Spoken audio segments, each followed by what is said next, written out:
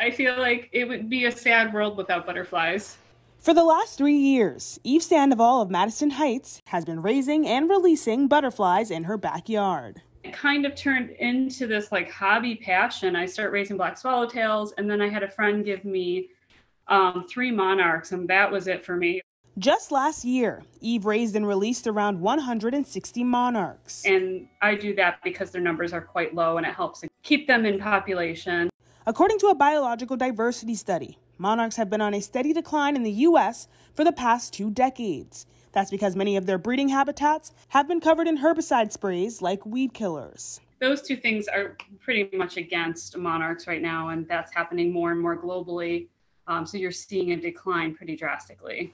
That's why Eve is making it her mission to make sure her front and backyards are accessible to monarch butterflies. This year I've only released six, but it's really early. I have 49 eggs right now, and I also have about a dozen chrysalises on my porch.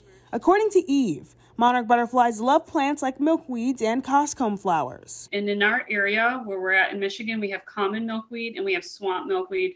And the butterflies, they will come for miles to just have the nectar of that plant. And it's also a host plant, so they lay their eggs on it. And Eve is hoping other Michiganders join in on her mission to save them. Once you raise monarchs, you are like, you fall in love with them.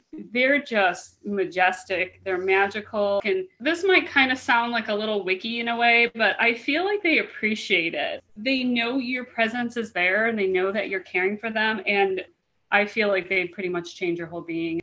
For 7 Action News, I'm Jetty Johnson.